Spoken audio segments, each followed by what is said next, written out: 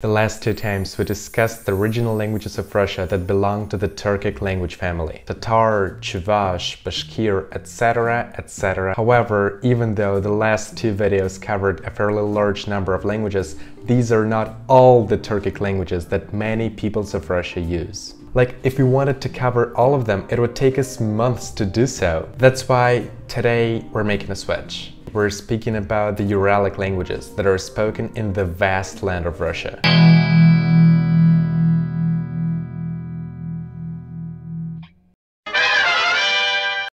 A small language spoken in Volga Federal District's Republic of Mari El. Other distribution areas include the republics of Tatarstan, Bashkiria, Chuvashia, as well as Permsky Krai and the oblasts of Sverdlovsk and Kirov. Duh, they're all close. As well as many, many others. An interesting fact, even though the Mari language is only spoken by 385,000 people, it has two distinct literary styles.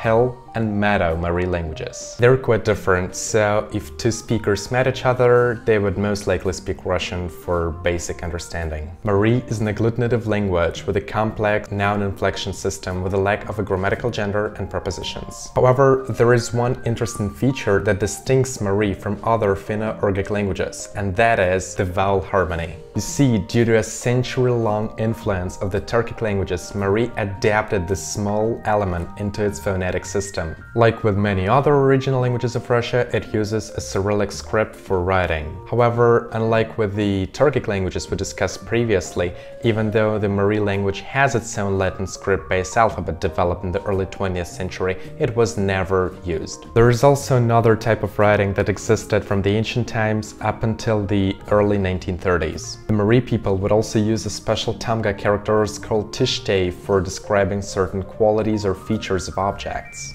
However, as of the 21st century, this system has ceased to exist. Also, I am personally a 12% ethnic Mari, with my great-grandfather being a Mari national spending his entire life in what is now the Republic of Mari El. However, neither me nor any of my family speak the language as it has been on decline for many years now, with barely anything to nothing to be done to change it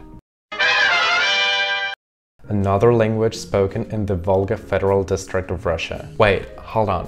Did I say language? Nah, just like Mari, the Mordvin language is also divided into two separate literary norms, sometimes referred to as two separate languages. Moksha and Erzya. From now on, I'm gonna be referring to them as two separate languages because that is what they're mentioned in the Constitution of the Republic of Mordovia. Interestingly enough, even though the, these two languages make the larger Mordvin language subgroup, they're not mutually intelligible due to differences in grammar and phonology. Aside from Mordovia, they're also spoken in many other oblasts and republics of the Russian Federation. The total number of speakers is now a little bit under a half a million of people, however, it is now currently on decline, just like with many other regional languages of the Russian Federation. The reason is still the same, because Russian is a very large and a global language, there is a lot more reason for people to learn and use it in their day-to-day -day life. Also, much like Mari, the Mordvin languages are agglutinative languages with a complex noun-inflection system with 12 grammatical cases which, to be honest, sounds dreadful to any Indo-European speaker. Also, like all other Finno-Ugric languages, it lacks grammatical gender and prepositions. The vowel harmony is also present in both languages. As for the graphics,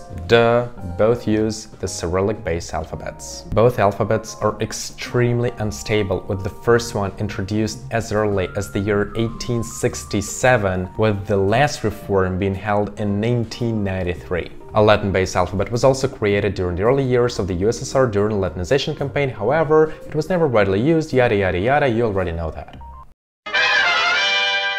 This is the last language we're going to cover in this video. Udmurt, like all the other languages mentioned in this video, is spoken in the Volga Federal District in, you name it, the Republic of Udmurtia. It is also spoken in neighboring federal subjects. It is now spoken by roughly 324,000 people with the number of speakers constantly declining. According to UNESCO, if this tendency continues, by the early 22nd century, this language will have become extinct. The Udmurt language sports a unique verb conjunction system that is absent in other Finno-Ugric languages. Another distinctive feature is a large number of loanwords from the Tatar and Russian languages, due to historic reasons. In terms of phonetics, Udmurt lacks the distinction between long and short vowel sounds, as well as the vowel harmony. As for the graphic system, you can't already know that. The language uses the Cyrillic-based alphabet for writing, however, the Latin-based alphabet was also created in the 1920s